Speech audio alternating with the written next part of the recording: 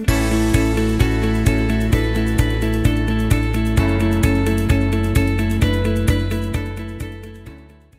you so much for joining us again. Well, my name is Simon Godwin, and I'm the artistic director of the Shakespeare Theatre Company here in Washington, D.C. And tonight's episode is about identity and ambiguity, which we're going to be talking about in relation to As You Like It and Twelfth Night. This episode of the Shakespeare Hour has very generously been supported by Mrs. Eden Rafshoon, who's been a long supporter of the theatre and I count a dear friend. Thank you so much, Eden. The Shakespeare Hour is produced as part of our online initiative called Shakespeare Everywhere, which is supported and generously sponsored by the Beech Street Foundation. So a big thanks to them as well. Well, now let me introduce our wonderful guests for this evening.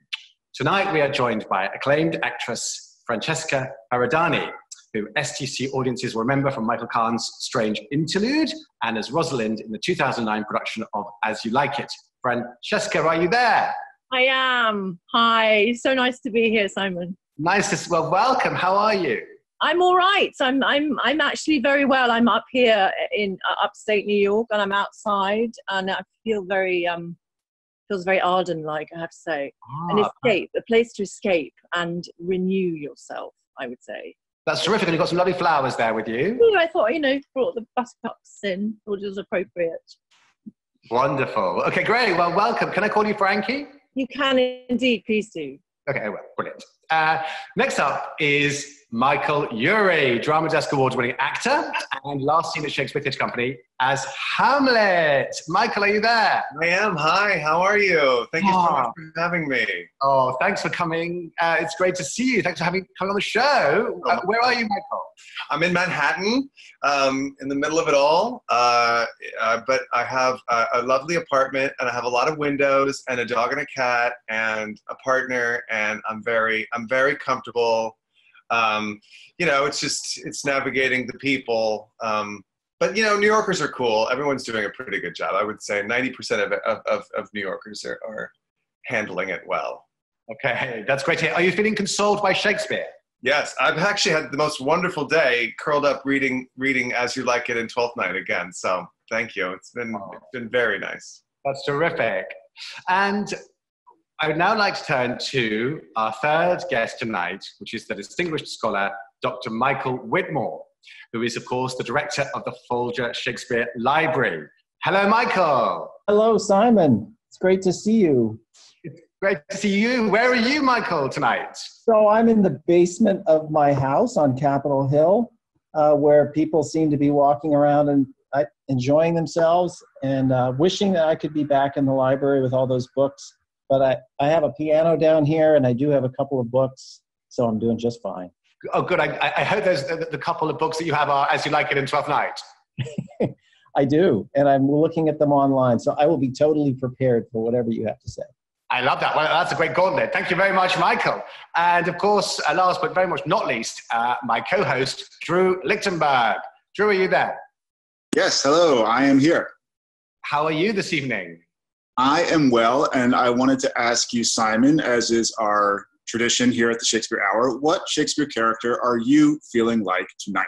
Ah, well, thank you, Drew. Um, well, as as folks, uh, viewers know by now, um, I spend my Shakespeare hours in the uh, Rectortown uh, Methodist Church Hall, um, the, where the internet is great, because I'm living uh, in uh, rural Virginia about an hour from DC. So the character that I am this evening, I feel like Duke Senior, uh, leading his band of merry men and women, a wife and twin daughters, in the great journey of uh, hope and uh, joy in the uh, in the Forest of Arden. So I'm Duke Senior tonight. Thank you, Drew. And Frankie, what Shakespeare character are you feeling like tonight? You know, the last few days or even weeks, I have to say, I'm feeling a bit first fairy. Oh, that's interesting Not, because yeah, lots of very, very minute, important things to do all the time that I'm rushing around doing, and the humans around me don't really seem to notice. You know, it's I think it's it's something about being a mother, but mm. it makes me think of her. I love her so much, the way she flits around with a lot to do, and and it's very important and very detailed. First Fairy is certainly one of the key underrated characters in the canon. Uh, Michael Witmore, what, what Shakespeare character are you feeling like tonight on Capitol Hill? Well, I, I hope it's not Jaques because he's he's really a melancholic. But I, I think I feel more like Sebastian from Twelfth Night. You just you get thrown up on the shores of some place. It's new, and you just wonder what's going to happen. Um, I'm I'm I'm ready for just about anything. Ooh, exciting, Michael Urie. Well, I uh, I'm spending uh, most of my time these days producing a, an online theater festival called Pride Plays, uh, which used to be in a real theater. Now it's uh, online, and so I have my uh, I, we're producing 11 uh, online workshops and four readings for Playbill.com. So I'm I'm running from from Zoom to Zoom these days, um, and and I have all these different people who need me, and so I feel like Dromio, but I don't I don't really know which which one. It's got to be Dromio from Syracuse. He's oh. the better Dromio. or it's one of those productions where I play both. Just just a thought. Ah, brilliant. well, before we get started, I just wanted to refresh everybody watching at home on how this webinar works. You should have at the bottom of your screen a Q&A button as well as a chat button. If you want to share with everyone else what Shakespeare character you're feeling like tonight, please use the chat button. And if you want to ask me or any of our wonderful panelists questions throughout the night or throughout the hour, please use the Q&A button and we will be answering those questions throughout the show. Which brings me to our subject tonight. Uh, the subject is ambiguity and identity, and the plays we're discussing are As You Like It and Twelfth Night. For those of you who haven't been at home uh, reading the plays, a quick refresher these are both referred to by scholars as the high comedies. We believe they were written between 1599 and 1601, uh, so sort of the era when the globe is opening up. Uh, these are both plays that start very seriously, with Duke Senior and Rosalind and As You Like It being exiled to the Forest of Arden. And in Twelfth Night, of course, uh, a shipwreck, leaving Viola separated from her twin brother Sebastian on the shores of Illyria. Uh, these plays are both fish out of water plays. They revolve around strong female characters who find themselves in a topsy turvy world. Uh, these plays are both romantic comedies. Viola falls in love with Orsino and is caught up in a love triangle with the Countess Olivia. Rosalind falls in love with Orlando, decides to woo him, is caught up in a love triangle with the shepherdess Phoebe. And last but not least, these are both plays of disguise. Rosalind and Viola both go in disguise as boys, as page boys, uh, in order to pass in this strange world. Um, and the action gets more complex and convoluted from there. But that's a quick refresher on As You Like It in Twelfth Night, which brings me to our question how does Shakespeare explore gender identity and sexuality in these two plays? Michael Witmore, we're going to start tonight with you. Uh, thank you, Drew. Well, that's that's a big question. Uh, I'll just try to kick us off.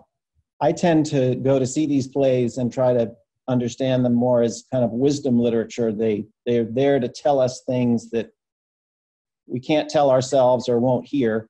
And when it comes to courtship and desire and sexuality, something that just it always strikes me about Shakespeare's plays, there's two things. First is they show people who are really their own worst enemy when it comes to acting on their desires. You find characters who are attracted to someone and then they do almost everything in their power to push that person away. And there's something fundamentally perverse about that, the way in which people get in their own way. And so these plays use two female characters who are almost they're almost like love teachers, but they have to help these men figure out how to recognize them. And what a struggle. You know, why is it so hard for a character who loves someone else to look at them and say, Here you are before me, the person I want? And when Rosalind is in disguise and uh, Orlando is looking at the person he loves and can't see her, it's it's kind of amazing but i think it's also it's like it's an illustration of something that lots of people do. And comedy sometimes has to outsmart people so that they actually fall in love. And, and I think that's, first, I think it's true, and I think it's a very perceptive thing for Shakespeare to talk about. And the second thing that I think about with these two plays is just how odd it is. Uh, at certain points, characters become interchangeable. So the character who I kind of feel like tonight, Sebastian, he's there in the play and he's kind of waiting around until he's needed because then he'll provide um, the lover for Olivia. And you you just kind of wonder why is it that she'll say at that point when she realizes that she's mistaken Viola, why will she say, "Oh well, oh there you are, you'll do, you're you're great." Um, it seems kind of counterintuitive that she would just say, "Oh, oh, it's totally different person, but you're great. I'll marry you right on the spot." But on the other hand, I think about how people are drawn and attracted to other people, and sometimes they don't really see the person. They kind of see them out of their peripheral vision, and and they have a type or they have a certain kind of posture or something that they really are attracted to. And so I I do think people kind of make up their minds before they really see the person they love. And if they're really lucky, uh, they actually learn to know the person that they love and can be with them. But the fact that we mistake uh, we mistake the people that we eventually fall in love with seems so basic to Shakespeare's comedies. Certainly, a theme that pops up again and again that first love or the blush of first love is very different from a sustained romantic adult relationship. Uh, previously, we saw in Midsummer Night's Dream and Romeo and Juliet the kind of terrifying interchangeability of love uh, in these early plays and in these younger characters. And it seems like in these two plays, he's going deeper somehow. Uh, and of course, to pile on top of all the complications, in Shakespeare's time, you have young boys playing the female roles. So in As You Like It, you have a boy actor playing the character, the female character Rosalind, who's playing the young boy Ganymede, who's having Orlando woo her as Rosalind. A play about a boy playing a girl, playing a girl, playing a boy, playing a girl. And similarly in Twelfth Night. Uh, and that's a question also that we have from Beth Bernhardt. Is it hard to play a boy playing a woman playing a boy? Is that different from just playing a regular character? And maybe we'll get to that after we hear uh, from you, Francesca. Yes, hi. Um, well, I have to say, uh, I started with the issue of just identity for a second before I got to the gender identity, because when I read As You Like It this time around, I was so struck by the love story of it in a way that I, I feel like I just over a sort of powerful love story and about what it means to deeply, deeply fall in love, like you were saying, Drew, and the transformative nature of that act. And Arden being a place where you can go and such transformation can take place. And your true nature can come out. And even the, the people who are the, perhaps the furthest from their innate good goodness um, duke frederick and oliver the moment they arrive in the forest they are changed. And of course it's the end of the play and shakespeare's got to sew up some things but they are changed drastically in, in, in an instant we hear. Um, to perhaps their truest natures, which are good. Um, and Rosalind and Orlando, their love is kindled before they enter, and they are swept up. They're just swept up in this full fever, like chest cracking love. It seems to really transform you before you even before you even speak about the gender issues of being a um, pretending to be a boy. She, I think there's something about Arden itself, and I and I never really thought about that in, in a conscious way, this big picture idea of identity um, being exposed um, by your surroundings and your circumstances, and forced to ask the question of who am I? Um, how do I express myself? What do I want? It's like these the questions, kind of reckoning with authenticity. And I, I, th- I th- feel like the, the first time you hear about that, um, spoken very plainly is Duke Senior. And the first time you're in a scene in Arden, he talks right to it.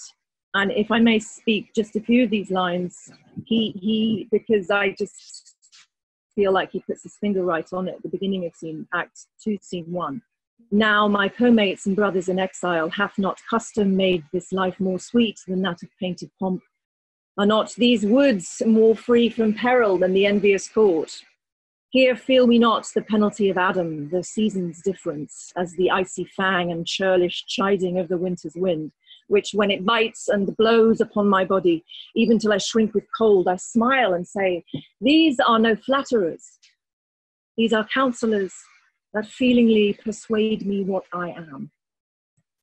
I feel like he he just hits the nail on the head of transformation.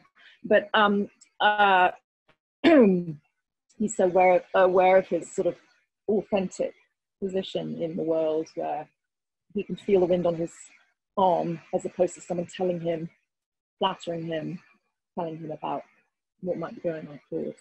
I love that. Um, so moving, I should move on to gender identity because that really is the question. I'm sorry for the diversion. Um, you know, perversely, is what helps Rosalind and Viola explore these issues of authenticity are by dressing up and pretending to be a boy. And um, I think Shakespeare explores this issue by giving them each this big, juicy present of assertiveness in the form of male prerogative. I mean, this is partly because, obviously, like you said, the roles were played by boys initially, but it still make today still today makes them so attractive as roles for women to play because and, also because of the inherent danger in them. Um, for shakespeare I, I, think love and danger seems to go hand in hand. Um, hiding your gender in society is a risky pretty risky endeavor. Um, even if it is sometimes enjoyably sexy because there's always this element of possible exposure and uh, we experience that tightrope walk that Rosalind puts us on through Celia and with Celia in that second wooing scene. When Celia says she can't say the word, and Orlando, um, uh, Rosalind says, "Marry us." Celia says, "Come on, come on," you know. Um, and it's like a gift. The gen- I think the gender change is a gift, um, as well as being a solution to surviving disaster, you know, ensuring safety and preserving virtue. Um, it's also offered as a sort of restoration to their souls. They both arrive um, in these places, Arden and Illyria, uh, in, completely defeated by what has happened in the beginning of plays. And in their disguises, they sort of renew them and expand them. Again, it's that sense of heart opening that Arden does for Rosalind. It's just cracking open and becoming who, who you really can be. And that's what disguise does for sure. Um, and it's like, I, I, when I think of those boy actors who played these roles and what that must have been like to then get to, get to be a boy. So to spend, so you're pretending to be a girl, but then to suddenly get to be a boy for part of the play and how freeing that must have felt to return to themselves and sort of access all the things they needed to be um, power and ardor and, and um, the scope of what they need to do. Um, yeah, so that's that's a yeah. Yeah, that feels like a very very rich place to start. I mean, you mentioned yeah. a number of things. One one of which is this very unusual, dare I say, erotic structure in As You Like It, where Rosalind and Orlando have a series of wooing scenes in the forest and they get progressively more intense until Rosalind at one point says, propose to me and marry me right now. And her friend Celia, who's been watching the whole time, is really freaked out by what's, what's about to go down. It's like, whoa, this is all a little bit too real. And the other thing you mentioned is the forest of Arden and also Illyria as this place of this landscape of transformation it's interesting that the titles of the two plays, As You Like It, and the subtitle of Twelfth Night, What You Will, Twelfth Night or What You Will, are all about just make believe. That these are not realistic places, but these are these are landscapes where you can perform whatever role, whatever identity feels right to you. So we'll, we'll come back, Francesca, but I want to introduce Michael Urie to this conversation. Hello, Michael. Hi. Hi. Thanks. So um, I, God, it's so fun listening to all of this amazing stuff, and and and so exciting because I, I, as I was thinking about it, I, I, thought, oh, I hope nobody says what I want to say, and and and, and nobody has because you're so smart and and so brilliant, and and I'm stupid. Um, but this is what I think. Um, I um, so so so I, I, I think that the, the, uh, when I think of as you like it and what you will, like those two ideas, and I think about the Forest of Arden, especially the Forest of Arden, I think that these are the places where you can be the thing that you're told you can't, you're not supposed to be, and um, and that they go to the Forest of Arden to escape, you know, whatever persecution they they've been getting in their in their place. The same way that we escape the suburbs of Texas or whatever to go to um, New York or San Francisco. I always think of the Forest of Arden as San Francisco for some reason. But like we escape these places to go and like be who we want to be. And obviously like uh, Rosalind is, it, it becomes um, Ganymede to, to, uh, to not only escape uh, Rosalind, but to, but to have to, to, to be allowed to wander the, the, the forest without a male companion and, and, and, uh, and find that. But Duke Senior has escaped uh, political persecution, and and I think Jaques, you know, they always refer to Jaques as this melancholic, this this uh, they, they they call him uh, a sinner. I think that that's all code, and I think that I think that that Jaques has a much more fluid sexuality uh, than is than, than than people were used to, and um, and I, and I think that Shakespeare is winking at his. I mean, you know, like right. He okay. So this is a crowd pleaser. These are these are these two plays are some of his crowd pleasers, and they're all having his audience is having the most amazing time watching what they know is a boy playing a girl playing a boy, and and these plays are are such a wink to that, such a nod to that. Like I know I've made you watch all these like these tragedies where where a boy plays a girl but you're supposed to fall in love. And and so now let's just turn it all on its head. And he's created these almost these characters that are almost um, pansexual in that Orlando is basically in love with Ganymede. He has basically fallen in love with a boy. He doesn't know it's a, actually a girl, but but he basically like he's ready to go there, and if and, and if Celia doesn't step in, he will go there, and um and I and and, and you know and, there, there's so much of that in Twelfth Night too, where where you can feel Duke Orsino basically falling in love with Cesario, and and and and and there's no there's no like there's no um, there's no homophobia. I mean, they didn't have that then because they didn't know what it was then. But like they don't, there's no like, ew, gross, no, no way. We put that on now when we when we do those plays, we put it in.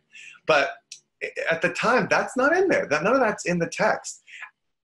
So so I think that there's this wonderful queerness to these plays and um, and as i mentioned this festival i'm producing it's a queer festival and um, and we have playwrights um, who are trans and non-binary and gender non-conforming, and a lot of actors who are and directors who are too. And and and um, one of my wonderful young playwrights uh, who is non-binary, um, we started talking about uh, some of the characters in their play, and um, and and about who should play them, and whether a, a cis actor should play a non-binary character and a non-binary actor should play a cis character. It's very interesting and fascinating and, and, and in a lot of ways really new territory. And, and I said, well, when you act, because this person also acts and writes, I said, what do you gravitate towards? And they said Shakespeare. 100% Shakespeare. They said the only the only playwright that I really feel at home when I'm acting is Shakespeare, and I feel like there's this really this Shakespeare was was really playing with this pansexuality and uh, this this fluidity uh, that that we have to kind of put a modern lens on, but at the time was uh, was was up, up for grabs. Not only was there this whole meta "I'm a boy playing a girl" thing going on, but I think that their sexuality was was they hadn't you know they hadn't really like discovered homophobia yet so they were they were willing to play these games and and, and enjoy that um, i mean of course like the easy one is Antonio. Like, how can Antonio in Twelfth Night not be gay? And I, have even heard like uh, of productions where is it the elephant that, that he says, "Meet me at the elephant." I've even heard that some productions put the elephant, uh, make the elephant a gay bar. I, I, I did that at the National Theatre. Thanks. Oh, Simon's production, Twelfth Night.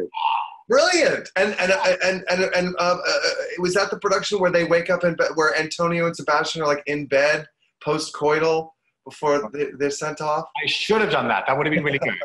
well, I heard about a production like that. I mean, and and and and that so that it, right away, Sebastian is a bisexual man. He later falls in love with a woman, but he has this romance with a man, and and I mean, it's really hard to to it's really hard to not see.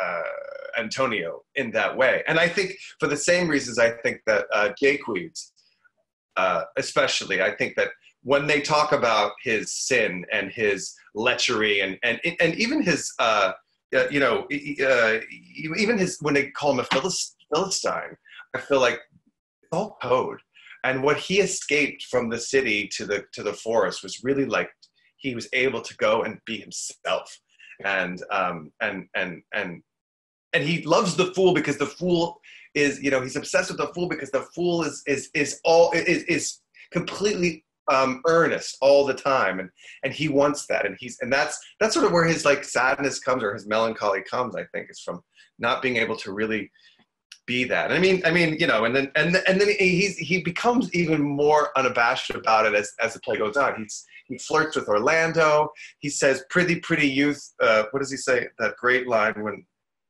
I prithee, pretty youth, let me be better acquainted with thee to Ganymede. He loves these pretty boys. He's he's obsessed with these pretty boys and this funny this this other funny guy. So um, it's very notable that he's very interested in Touchstone in Act Five, and they have a very long, witty exchange, kind of like you know, feeling each other out a little bit. Like, well, what's your deal? You seem like an interesting guy. Yeah, yeah, and he's and he doesn't care about Celia at all. He couldn't care less about Celia, this beautiful young woman he's not remotely interested in and he's fascinated by people. So there's something there's something there that, that I that I find very exciting. And oh, and I and, and also um, I, I, I read today while I was doing all my work on this um, that uh, uh, there's this theory that that Shakespeare based Jaques on Christopher Marlowe. Have you heard this? Who was like probably gay. And I mean, I, I feel like Mercutio is often is, is often offered up. Sorry, Michael Witmore. No, and a spy. I, I, I right. There was plenty to work with with Marlowe. Yeah. you also mentioned uh, this very crucial detail that very becomes very clear when you stage Twelfth Night, which is that Orsino never sees Viola as a woman in the entire play. She is presented to him as Cesario, the page boy, and then at the end of the play, he says, "I too will share in this most happy rack. I, I, am I want in on all of this pansexual uh, intrigue that's happening. He, he totally takes her word for it that she's a woman. And similarly, Orlando, he falls in love with Ganymede. He doesn't fall in love with Rosalind. Uh, brings to mind, you were, you were mentioning uh, the Elizabethan court and Shakespeare's conception of sexuality. I found this quote from Plato's Symposium. It's the fable of Aristophanes the origin of love, a single being divided into two bodies seeks reunion, and this is the source of love. The singleness of personality is broken down. In other words, this was, this was, this was the kind of stuff they were reading in Elizabeth's court. It didn't matter who or what you were, you had to get beyond your single personality into a bigger love that was bigger than you know these, these names that we apply to them uh, that that song from uh, uh, oh sorry that song from uh, Hedwig and the Angry Inch, The Origin of Love, is all about that that Plato uh, theory about Zeus slicing uh, two women two women apart, two men apart, and a, and uh, uh, a man and a woman apart, and that's how uh, that's how we have this sort of uh, fluid sexuality. I knew we would get to Hed- Hedwig and and of course Ganymede. Ganymede is Zeus's cupbearer who is yeah. beloved for their erotic beauty. Right. Uh, Simon, we've, we've, we've been missing you as part of this conversation. Well, well I'm, I'm, I'm enjoying it. I'm, I'm just so happy that the, uh, that the elephant made an appearance uh, in, in my production you. Uh, and um, yeah, what, what, what, great points. I mean, before I embark on, my, on mine, are, are, there any comments from the audience, Drew, that we should be referring to or questions that I should try and be grappling with? There are many questions from the audience. In fact, so many that I need time to go through them, and maybe after the interval we can come back to them. Okay, well, fantastic, exciting. So I'm not going to say too much, but I'm going to refer us back to a little bit of history. So I'm going to have my notebook next to me, if that's okay, because I think it can shine light on this idea of theatre as a transgressive, playful space in a way that a lot of us have referred to already. But before that, um, I did a bit of uh, Shakespeare research. I, apparently, there is um, an anonymous letter that was attached to the second quarto of Troilus and Cressida, so basically by a contemporary of Shakespeare's. And we don't know who it was, anonymous, but this is a small little note commenting on what a Shakespeare comedy is. So it's like the Shakespeare Hour, there. And uh, this is what they wrote. So much and much savoured salt of wit in his comedies, that they seem, for their height of pleasure, to be born in that sea that brought forth Venus. Venus, goddess of love and sex Sex is the height of pleasure, and that's the kind of thrill we get from Shakespeare's comedies. They are clever, they are funny, they are sexy. And they take a view of the world as a sea, that our lives and our identities are not fixed, they're not static, they are playful, they are fluid, they are in movement. And then I thought it would be uh, useful just to contemplate for a second about theatre in Shakespeare's age. Now, when Shakespeare was growing up, of course, there weren't any theatres as we know them plays or touring work would happen in churchyards, in um, houses, in universities, in great halls, but it would not be in, in a particular place for that purpose. So when Shakespeare was 12, James Burbage created the very first building just to do plays in. And of course, he called it the theatre. That was a big deal. It was new. So Shakespeare grows up and theatre starts to proliferate, and you have the Swan, and you have the Rose, and you have the Globe, and Shakespeare himself grows up to be this other strange thing called an actor, which was a new job because before the, uh, I, let me get the date right, I, I guess sort of um, mid 16th century, people that did plays were amateurs. They were part time people who would have other jobs as politicians or as clergymen or school teachers. So you have a space for theatre and you have a, a, a person whose job it is to basically tell you lies. And you can see why Shakespeare, as this writer, became immediately very fascinated. You have the drama, which is a lie, and you have the theatre, which is real. So he quickly starts to apply this freedom of thought to his characters and even to their gender. That everything can be playful, everything can be one thing and also another. Hence, you have ambiguity that's born in these theatres, in these plays, as it were, for the first time. Now, uh, yeah, and in a funny way, that's kind of where I, I, I wanted to just kind of state that, that, there's, that there is a historical precedent, there's not a historical context for that theatre as a permissive environment that I think a lot of our panel have been talking about this evening. Back to you, Drew. And speaking of context, we have a bunch of questions about how these plays were staged in Shakespeare's time. So I want to go definitely to Michael Witmore with those, but I also want to say we, we've been getting so many questions that we haven't had the space in previous weeks to answer them in the Shakespeare Hour. Uh, so for everyone who's asked a question, if we don't get to it tonight, I promise that I will respond to them personally. We have somebody cataloging them, keeping track of all of them. So you will hear from the Shakespeare Theater if your question is not answered in the t- short time span that we do have. Uh, and we also I want to quickly update everyone on how the Phoenix Fund is doing. Simon, do you have an update on the well, Phoenix Hi, everybody. Well, look, okay, talking of the history of theatres, Shakespeare Theatre Company is hanging on. Thank you, everybody that's been part of that amazing project to keep theatre alive in the nation's capital. The Phoenix Fund, the fund that is help, that has been created to help us get through this, has indeed just passed $1 million. Wow that is entirely down to you, to all those people who have given. Thank you so much. Our trustee that has agreed to match every dollar given to the Phoenix Fund has been so inspired that he got in touch with me this week to say he would like to continue matching to 2.5 million. So it's pretty awesome. So we are going to keep fundraising. And if folks tuning in this evening would like to make a donation to the Phoenix Fund, that is incredible.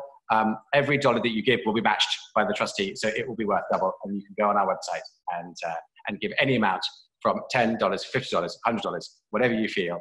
We're so grateful. Thank you. Thank you, Simon. Wow, two point five million dollars. It's a, it's so um, I can't even. I'm speechless. Uh, a question from Anne Harkins. In this fascinating discussion of identity, how do we honor in today's world playwright Larry Kramer and Dr. Fauci, who describes Kramer as a tough activist with a perhaps hidden heart of gold?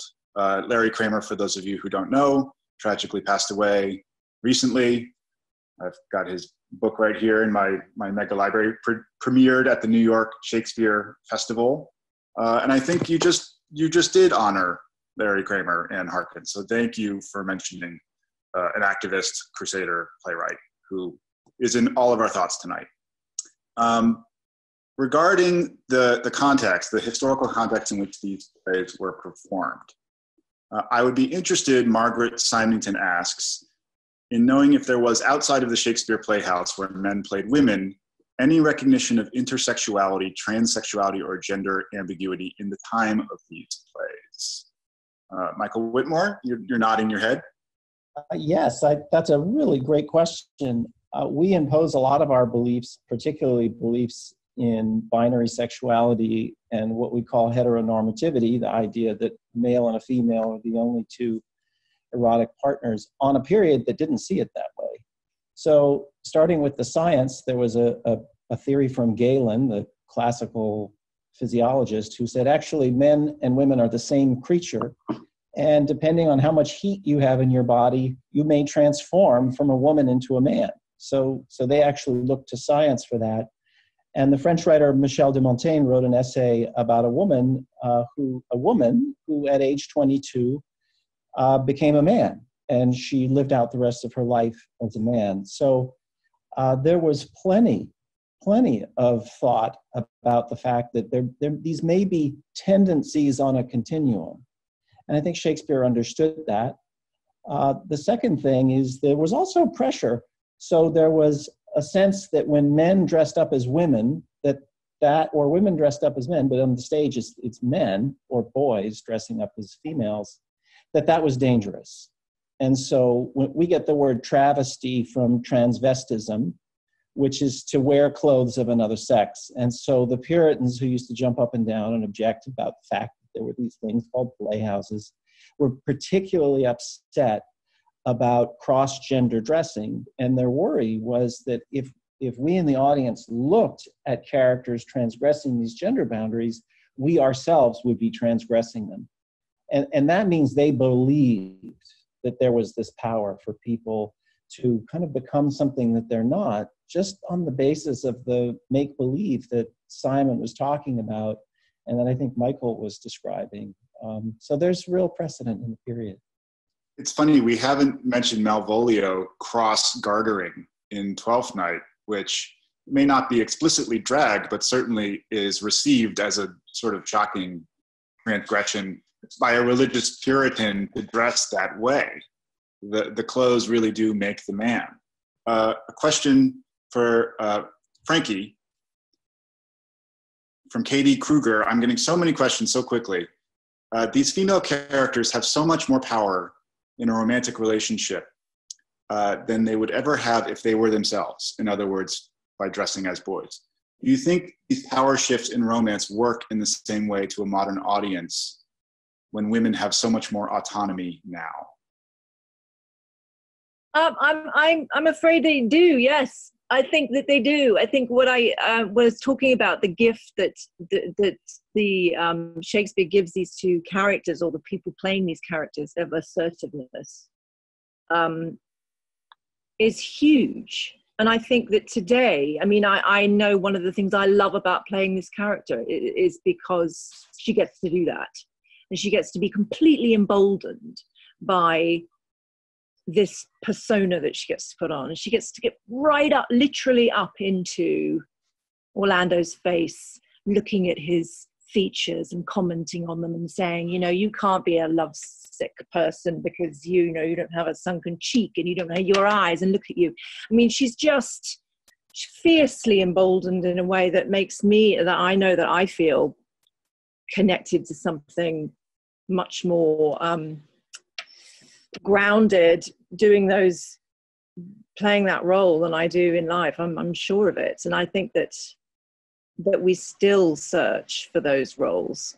We still search for those relationships to look at to make us feel that we were, you know, we're definitely in a much better place than Elizabethan women were. But I think we still get very excited by these characters.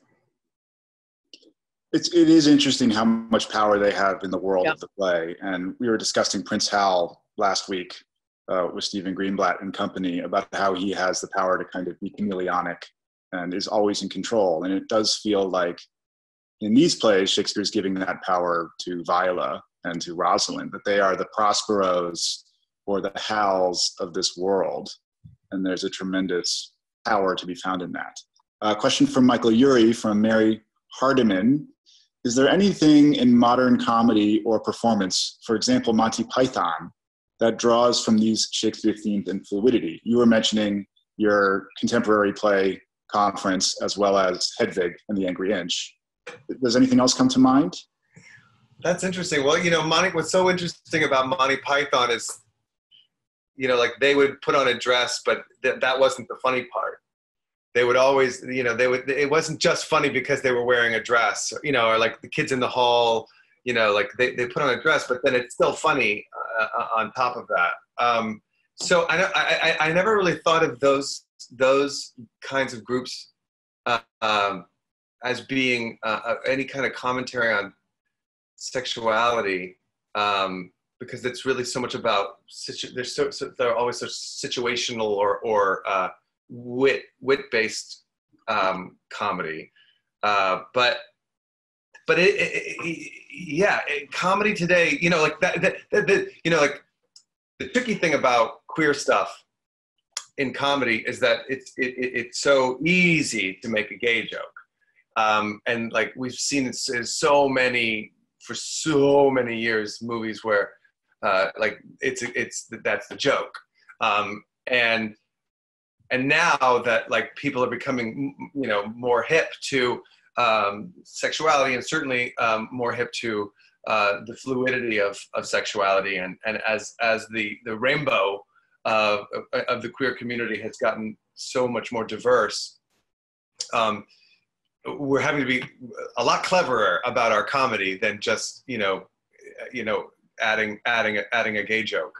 Um, and uh, I think, I think it'll be interesting. One of the, um, one of the plays that we're doing uh, in Pride Plays is called Masculinity Max, and it's it's it's about a trans man who gets re, re reacclimated to his family after transitioning, and um, and and and and sort of learns from the, these butch guys in his family how to be butch and realizes this isn't what I want either, and it's very funny, um, but it's very post, you know, it's almost post queer.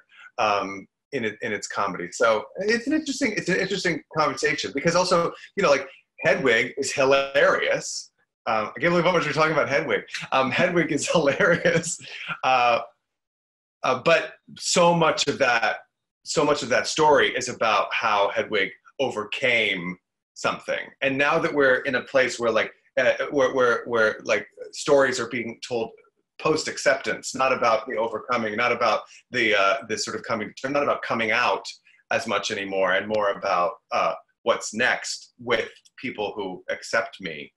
Um, you know, it's a it's a it's a bit of a different landscape. So so it, it'll be interesting to see now that we're sort of in this like this like how things become more you know and, and, as we see more productions of shakespeare that that embrace queer and and and uh, gender nonconformity and um, it, it, will be uh, it'll be really interesting to see how we find the funny in that. And and I think it'll I think we'll look to Shakespeare because Shakespeare was without homophobia and was without um, any of that.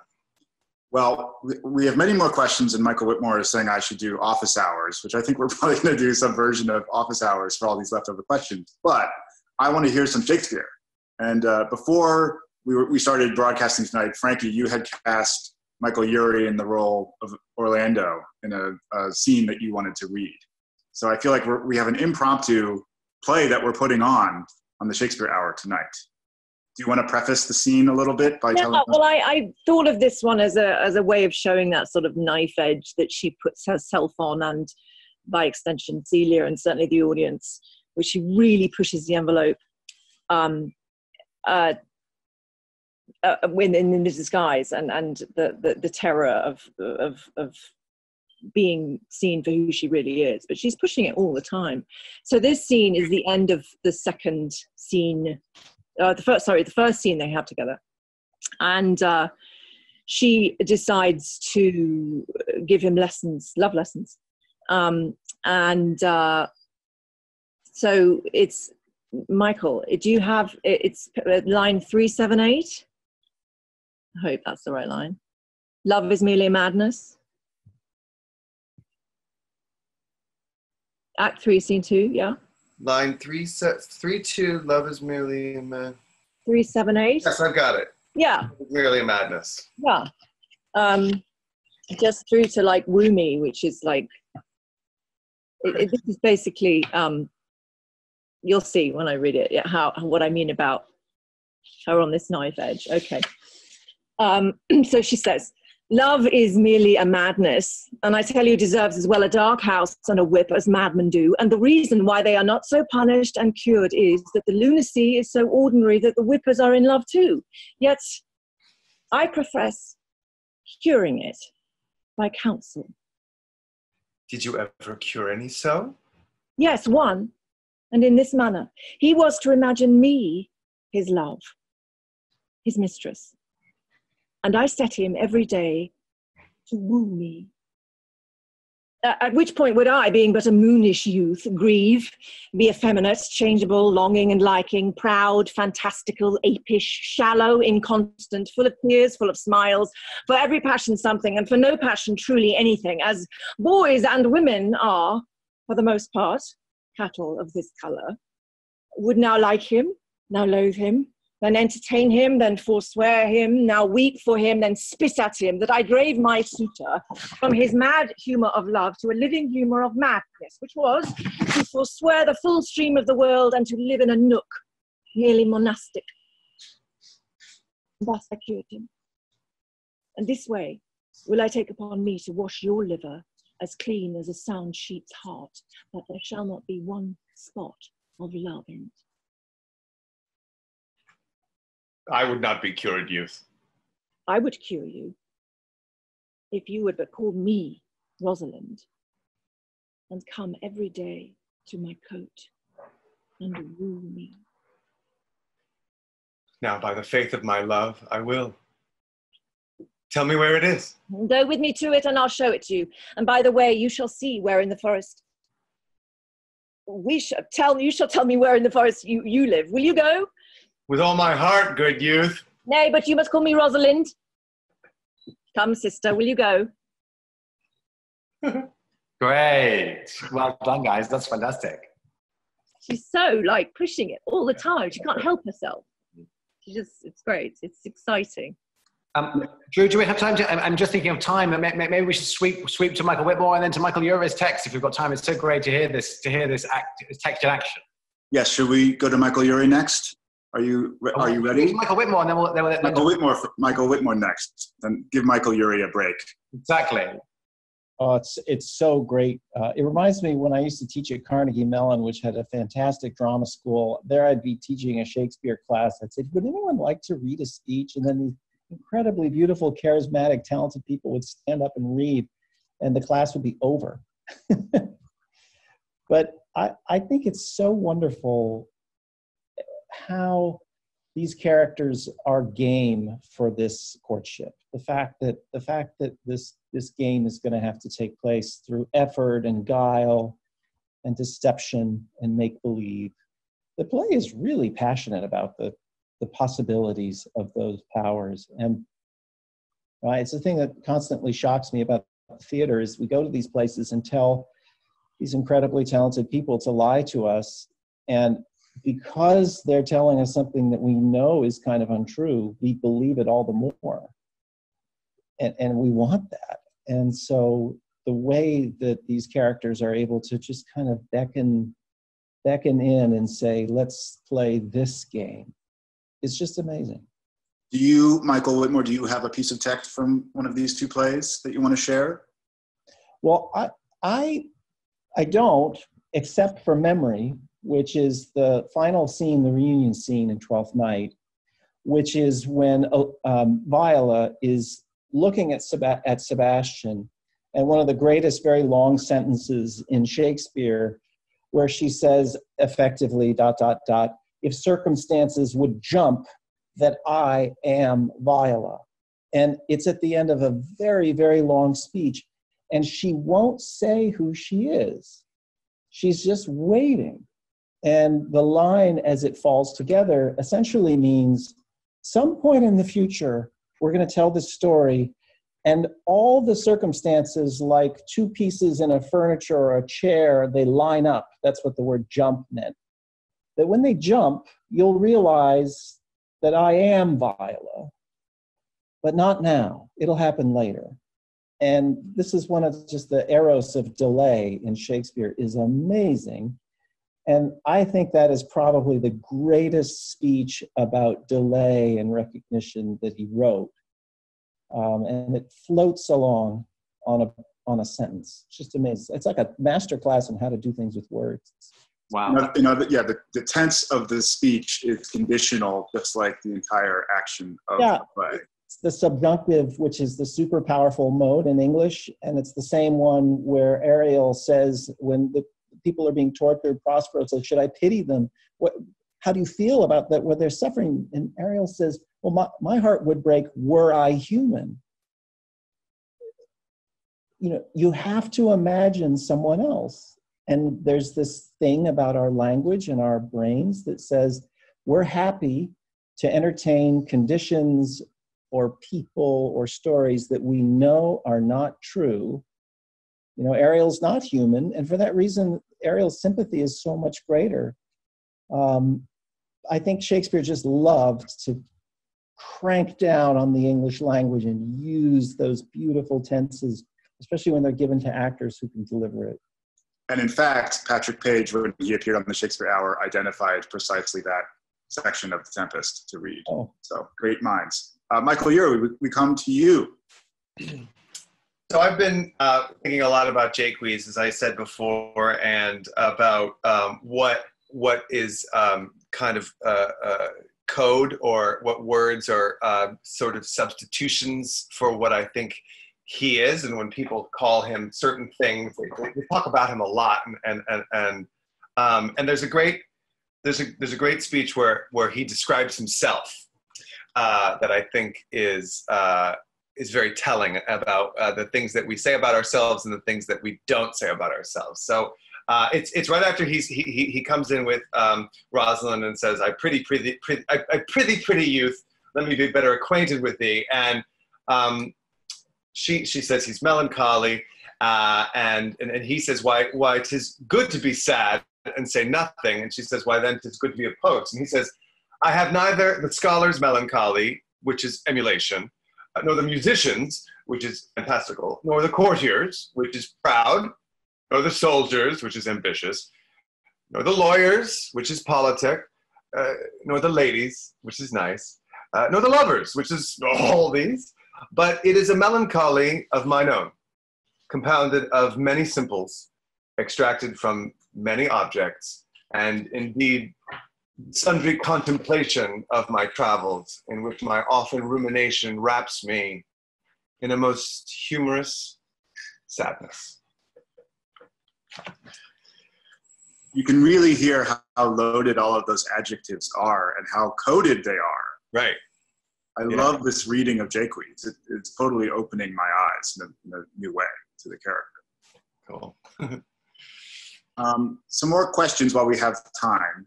Uh, from Marjorie Cooper, did contemporary playwrights like Middleton, Thomas Kyd, etc., have the same sexual ambiguity and transgression in their plays as Shakespeare? And another question from Eleanor Spoor, did Shakespeare write erotically of Marlowe? I, I, do not know the answers to that second question. I, I, I, don't know of any reference to Marlowe in Shakespeare that is erotic. But maybe Michael, Michael, Michael Witmore might, might, might touch on his contemporaries. That's an interesting question. Yeah, I, so I think the whole institution of theater, so playwrights are switching around, they're collaborating. Shakespeare worked with Middleton. Uh, we now know that Marlowe wrote sections of the of 2 Henry VI. So talking about fluidity, these were artists who, like today, they're they're working together. And I do think there was a common stock of plots and characters, and there were boys dressing as women in all of the plays. So everyone was kind of in that ambiguous space. But uh, you know, for the for my money, I think Shakespeare was more alive to the possibilities of the ways in which gender ambiguity could really uncork desire or make a plot go sideways or or or wherever it's going to go. So I, I think there's a reason why we really have thought a lot about sexuality when we think about Shakespeare's comedies, and why um, so many artists have turned to Shakespeare as someone who could help them push out of these boundaries. I mean, just, just to add to that, when I was just uh, doing some work on the birth of theatre, right, I got the statistic that between 1590 and 1642, when of course the Puritans closed the theatres down, boo, there were 2,000 new plays. You know, many of them are lost to us now, but this was such a boom. And yet, as a director, I sometimes go back to those Middleton plays, uh, Kyd plays, Dekker plays, thinking, oh, there must be some other real gems here. And I tell you, they're jolly hard work. And whenever I go back, I think Shakespeare was really good. Like, he was pretty much one of the original writers for the theatre, and he kind of nailed it forever, straight away. So. I'm with you. Eleanor Spohr glosses her previous question. Was not Shall I Compare Thee to a Summer's Day a reference to Marlowe?